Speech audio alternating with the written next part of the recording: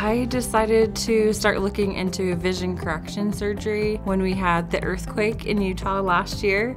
Finally pushed me over the edge because my vision was so bad. I thought if I don't have access to my contacts or glasses, I literally could not get anywhere. I chose the Eye Institute of Utah. I was referred by my brother-in-law who had had his LASIK surgery here.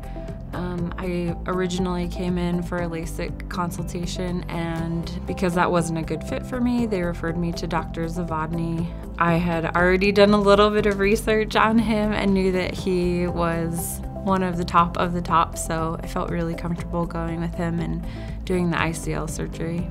My first experience here at the office was really, really good. I came in with a lot of uh, trepidation and worry. Um, your vision's not something that you want to mess around with. So, even from the front desk staff to meeting with the office coordinator, um, and then all of the techs and nurses that I worked with, everybody made me feel so comfortable day of surgery, I was mostly excited, a little bit nervous, but like I said, everybody here has made me feel so comfortable from day one, and everything they did was so efficient that you could tell they had done this so many times and but still gave you an individualized care.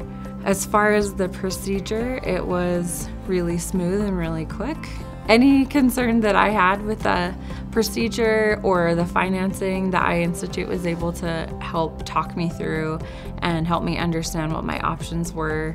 They offered a really easy financing program and they also had a special that I was able to utilize. Since the surgery, I have woken up almost every day thinking, this is the most amazing thing I've ever done. I should have done it 10 years ago. But it's really helped me as I work on the computer all day, every day uh, for work. So it's been really nice to not have to worry about the dry contacts and all of that. Even the other day, my sister called in the middle of the night because she was going into labor, and I was able to just pop out of bed and run down there and take care of her other kids. So it's just been really nice to not have that be something I'm thinking about all the time. It's just, I wake up and I can see.